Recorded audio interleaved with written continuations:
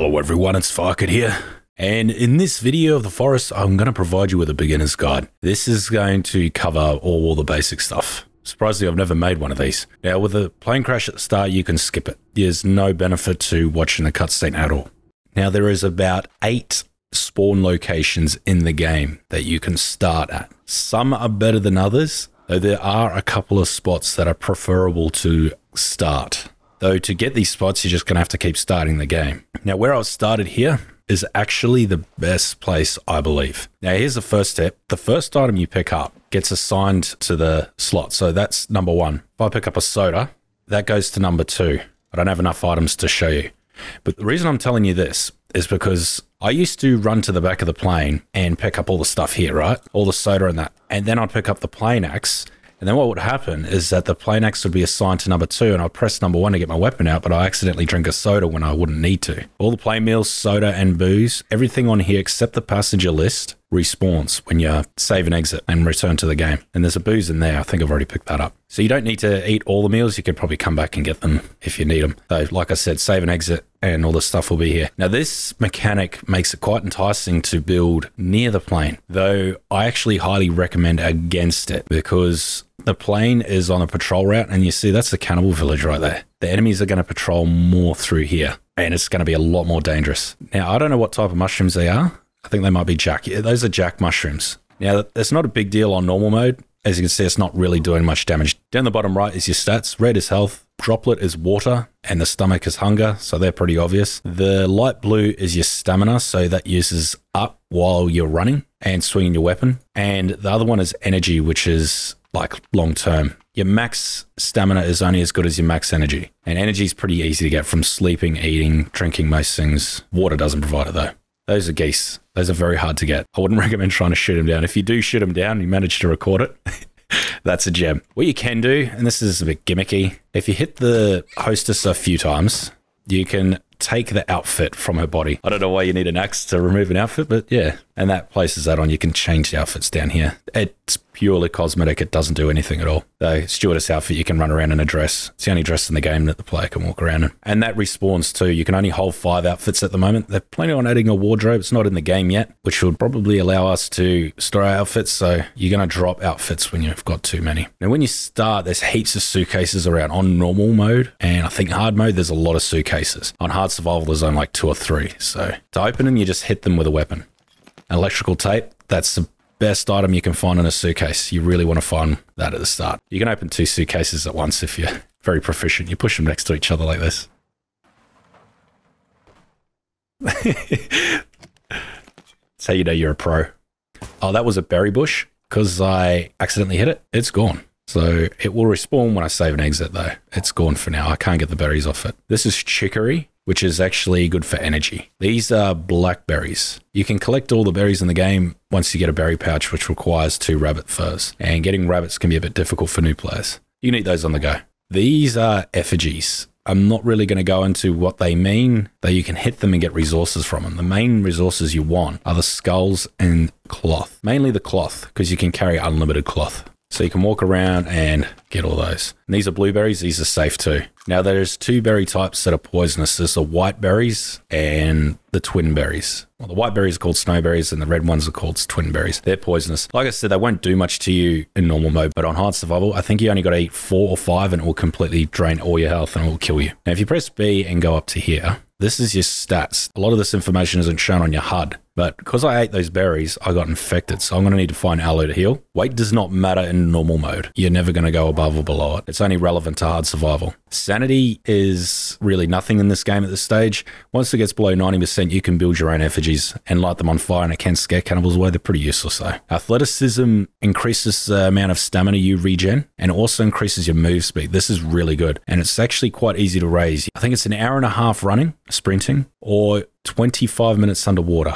you got to have your head underwater and you can't be using the rebreather and it will raise it by one. Well, or actually raise it by 10. It's complicated. I got a video on it, though this stuff's um, quite complicated, especially when you're first starting. Strength increases the amount of melee damage you do, has no effect on ranged weapons. But because I'm infected, it's lowering my strength. Now, you'll probably see these villages a lot and you'll probably think, oh, should stay away from them. Uh, not really. When you start near them, there's no one in them. Though if I was to start somewhere else and come over here, then most likely would be some enemies here. But you should come over here and raid them all and just take all the goodies. Now these mushrooms here, they're safe. I think they're puff or something. I can't remember. You'll learn by their colors. Red and white spots, those are the bad ones. And those orange ones that I've seen before, but they look a lot like chanterelles. So these are jack mushrooms, I believe. Now, if you attack a suitcase, it actually uses stamina. I don't know if that matters to you. What you can do is make a weak spear, which is just two sticks. And if you hit the ground with this, oh, there's a plane going overhead. That doesn't mean anything. I think it's just for something. I don't know. I can't think.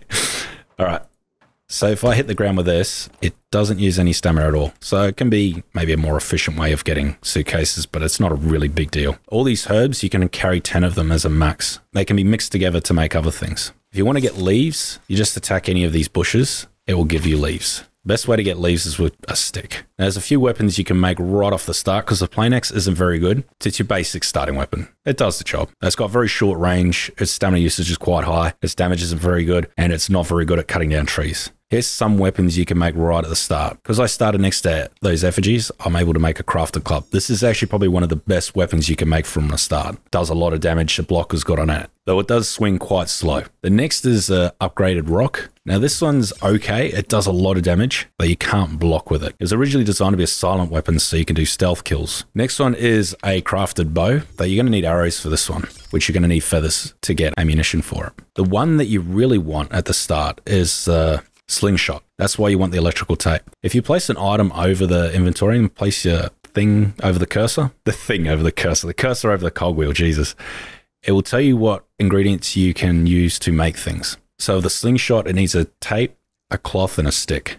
Now, this is a weapon you really want at the start. On PlayStation, I believe you can only have two items in your backpack, so it's easy access. But on PC, you get four. My system is that I usually have an axe in number one, a fast swinging weapon in number two, range weapon in number three, and I'll probably put the berry pouch or spear in number four. Usually swap in between. So I press number three, that's in the number three slot. Now I've got no small rocks whatsoever. These are a little too big to use in the slingshot, as you can see. What you can do is I'm going to make a upgraded stick, and this is what I'd usually set to number two. Just a fast swinging weapon, usually good for getting sticks. Ah, seems to have got a bug here. So if you hit the ground, there's a chance that coins and rocks can spawn. Coins are rare, rocks are not. This is actually a good way to raise your strength, but it's quite boring. I think with this one, you just have to put it on the thing. Yeah, it removes it. That's a rare bug, that one. Okay, I got enough rocks now. Now this is a slingshot. It's actually very easy to use because it's got an area of effect. If you think you've missed it, you've probably actually hit it. It's weird. Yeah, try and get every suitcase you can because they're rare and they don't respawn, I believe. In caves, they do. The place that I call the Fertile Lands is down there. Kind of see where the two rivers go off there and off there? It's just in that patch there. It's nice and flat. There's heaps of berries, herbs, animals, and everything. Across the river, there's heaps of sticks and trees. Just keep in mind that this area that we're going to cross is heavily patrolled. Your chances of running into enemies here are quite high. There's another lizard there. See, get the slingshot and you're going to have no trouble getting animals. The slingshot was quite a late addition to the game. Before that, you had to use the crafted bow for hunting, and that was much more difficult. There's a rabbit, you can chase after him. Yep, I got that. See, hunting is very easy with a slingshot. Though it's only good for small animals. If you want to get deer, you're going to have to get good with the weak spear. And that rhymes. So if you want birds, hit them like that. There's another lizard. I'm not used to normal mode. On normal mode, there's a lot of animals. Keep in mind that all this meat I'm collecting, I can only hold three lizards and three rabbits and four generic meat. I haven't got that yet. And three fish. And that does go off. So you really want to build a drying rack. Now, because I'm... Okay, that was the enemies there. They're here already. There's one. Now keep your distance from them and they most likely won't attack you. They will follow you, though there's a good chance that they won't attack you, especially on the first day. Hostilities are low. As I'm running down here, this is cave here. Keep this one in mind. A good way to keep it in mind, or to remember where it is, is open up your survival guide. Still can't navigate this thing for crap, eh? Place that, and then it's marked.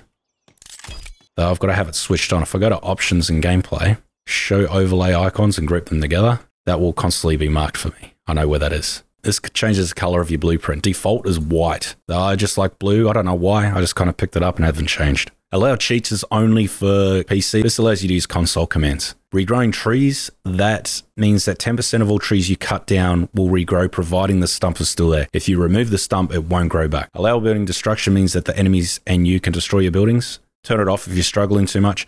And full PvP damage, that's kind of relevant to PvP, obviously. There's no official PvP mode, you got to make your own. With this map marker, stick marker, I would put one near the plane before you leave it. So I'm going to quickly run back up and place one. The AI in the game has designated that they're going to come to the plane on the first day. So if you hang around here, you're going to see enemies and they're on patrol routes, especially right next to that. This is not the best place to build. I do not recommend building near a plane. So you could change it to, say, blue. I'll change it to blue because the plane's got a bit of blue on it. There's these geese again.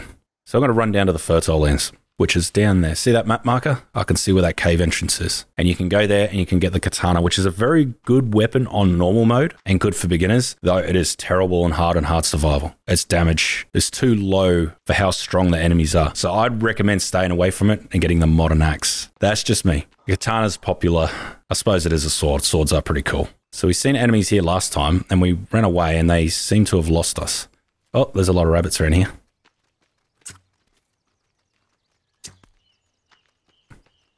I've run out of stones.